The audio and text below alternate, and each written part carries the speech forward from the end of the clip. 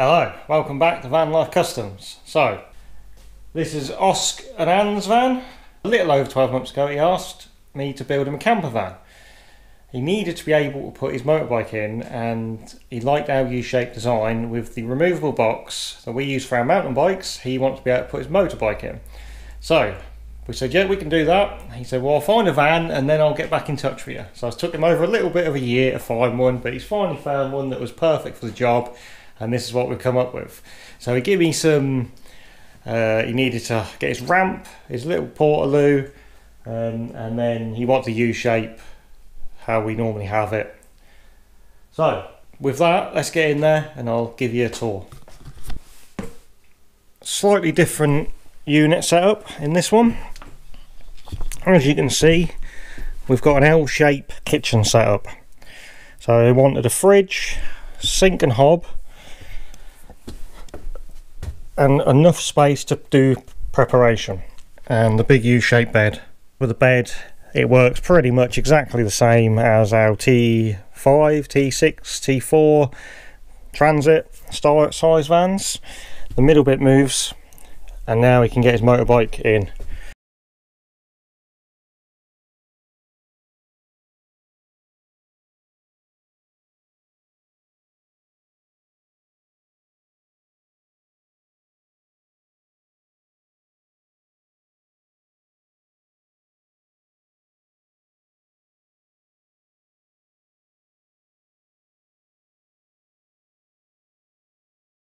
I think it's five and a half foot wide by almost five and a half foot deep. So it's like a big square bed.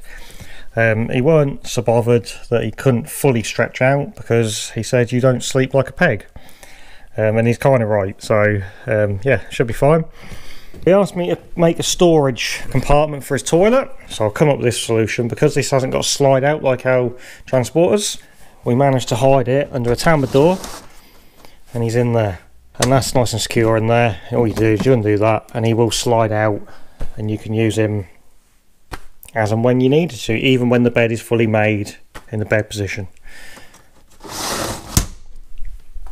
So we've got the fridge we've got a sink and hob combination we've got a single burner and quite a good sized sink and the first time I fitted one of these and it comes with a little draining board which is pretty cool so we'll start this end. This end we have the electrical cupboard. I'll give you a quick flick in there. In here we have all the leisure battery, consumer unit, charger, 12 volt, shut off, split charge. Above that we have the control panel, a double socket and a USB and a 12 volt socket which works off the battery, that works off the mains. This panel here controls all your lights, your water pump and your control your USBs. So as you can see there's a split in the worktop. I decided to make that lift up and then you've got a little bit of storage compartment there. So moving on, we have a big cupboard, really big cupboard, loads of storage space. We have a diesel heater which is down the back there, that was already in the van. So I had to make a duct so that runs through here. This is all removable at the back here so that can be got to and it comes out here. In this cupboard we have the water and the gas. So the diesel heater is in that box just there behind. We have the water and fresh and waste and then the gas and the gas box. Everything runs up behind. There's a nice load of space down there which allows everything to breathe. In this cupboard we have the sink. Now I was going to put a false panel there and hide that but then I thought well why? You know, if you ever need to get anything, at least you can get to everything. So we asked for a drawer. So we've got a drawer just there above the fridge. And then above this one, we've got another little drop down. And as you can see, you can get into the, the slight little bit of wiring in there as well, which is a 240 socket and a 12 volt socket, as you can see on the end there.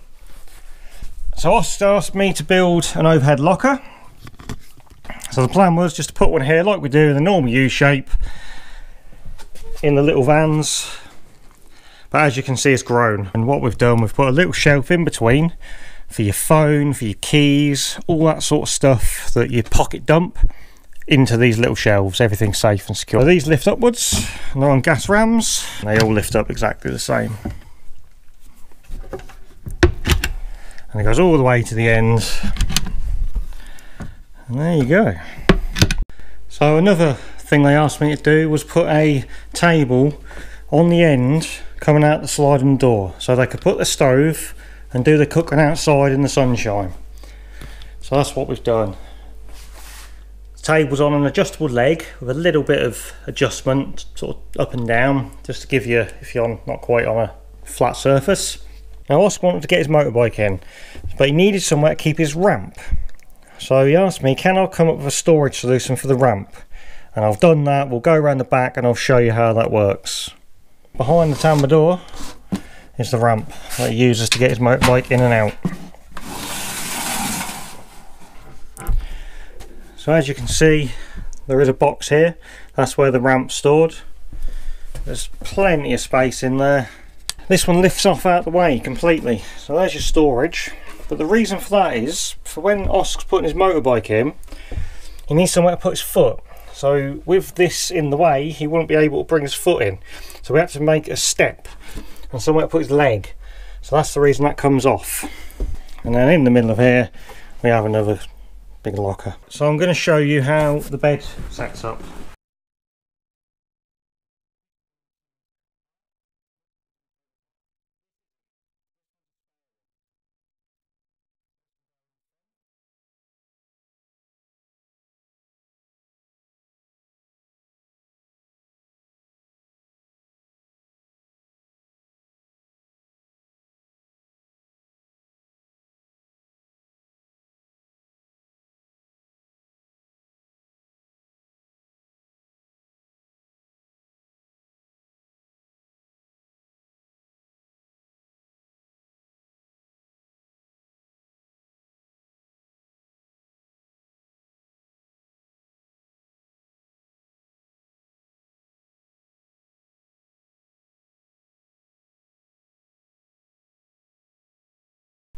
Can almost lay straight up, a little bit of a, but as you, you know, sleep a bit like this, your head up on a cushion, I think it's almost a perfect size.